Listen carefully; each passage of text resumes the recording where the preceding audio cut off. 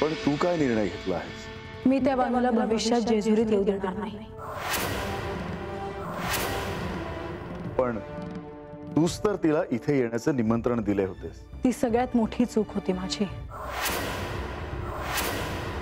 तिने तुझ्या निमंत्रणाचा अवहेर केला म्हणून हा राग आहे का?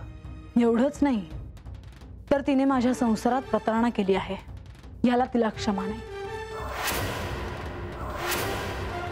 म्हाळसा तो आता भूतकाळ झाला. आता पुढे जायला नको का? मी अडकले आहे त्या भूतकाळात. रोज तो माझ्या समोर येतो दिवस रात्र. तुम्ही आराध्य आहात शिव आहात तरी तुम्हाला माझी वेदना नाही समजणार.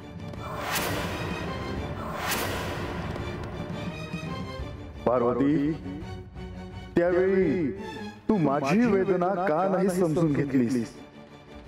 तुम्ही का प्रयत्न करता आहात ती इथे यावी यासाठी? मी काहीच करत नाही. तूच हा विषय आणला आहेस. मी नसताना तिला निमंत्रण पाठव. तिने नकार दिला कारण तिला ठाऊक आहे की तिला तुमचा पाठिंबा आहे. मी काहीही केलं तरी तुम्ही तिच्या सोबत आहात. नाहीतर ती लगेच इकडे आली असती. ह्या संदर्भात मी एकच सांगेन. बानू जर पुन्हा इथे आली, तर माझी इच्छा म्हणून तिला वाड्यात राहू द्यायचं. नाही.